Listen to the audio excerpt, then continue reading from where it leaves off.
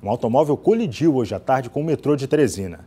De acordo com testemunhas, o motorista do carro se distraiu e passou pelos trilhos bem no momento em que o vagão estava chegando em uma estação. O motorista foi encaminhado para o hospital. O acidente ocorreu na estação do Renascença, zona sudeste de Teresina. Esse veículo passeio passava na via e não percebeu que o metrô se aproximava. O carro foi arrastado e colidiu com esse poste. Seu Manuel aguardava o metrô e testemunhou o acidente. Ele via desatento o metrô, buzinou, buzinou várias vezes e ele desatento foi passando até que houve um choque. Esses vídeos gravados por populares mostram o motorista preso às ferragens. Ele estava sozinho no automóvel. Ambulâncias do SAMU e do Corpo de Bombeiros foram acionadas. A vítima é um professor e também policial civil, identificado como Wilson Torres, de 48 anos.